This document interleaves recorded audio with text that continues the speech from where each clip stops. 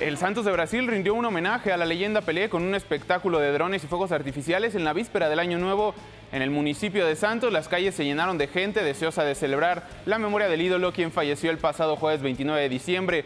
Los drones formaron figuras que representaban a Pelé y su famoso estilo de juego, mientras que las pantallas mostraban imágenes de la difunta leyenda. Pelé se incorporó al Santos en 1956 y se convirtió al, convirtió al pequeño club costero en uno de los nombres más famosos de toda la liga brasileña, además de marcar más de mil goles. Y ahora estamos viendo imágenes en vivo, nos vamos a enlazar allá a Brasil. Estas son imágenes en vivo del Estadio Urbano de Caldeira, ahí en Santos, donde se está realizando el funeral público de Pelé. Este va a durar desde hoy hasta mañana. Tanto hoy y mañana se estará haciendo esta ceremonia para el astro brasileño o Rey Pelé que descanse en paz. esperan una gran cantidad de aficionados y seguidores que estén conmemorando el fallecimiento de O Rey Pelé.